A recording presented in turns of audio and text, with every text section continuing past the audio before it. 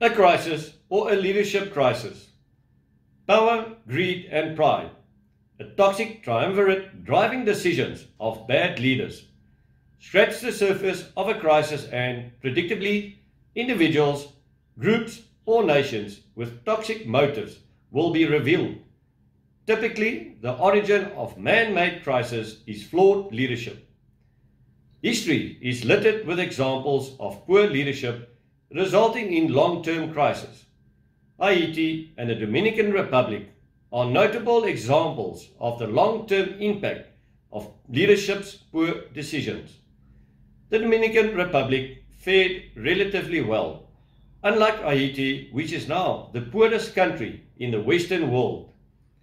Recent history is setting the stage for long-term fallout. In China, Xi Jinping's reluctance to relinquish power, the UK's leadership debacle, and South Africa's distinct lack of leadership all speak of less than altruistic motives.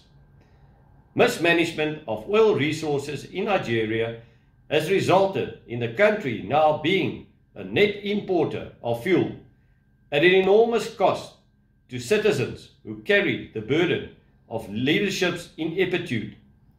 South Africa is heading in the same direction. Will the ANC's December conference see a mass epiphany amongst our leaders, or will self-serving motives prevail?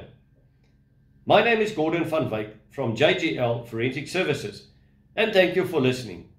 If you have not read the full article entitled A Crisis or a Leadership Crisis, then please click on the link below to access the article.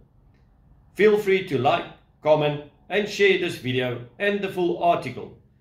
Let us know what you feel we can do to build a South Africa we are all proud of. Thank you, stay safe and God bless.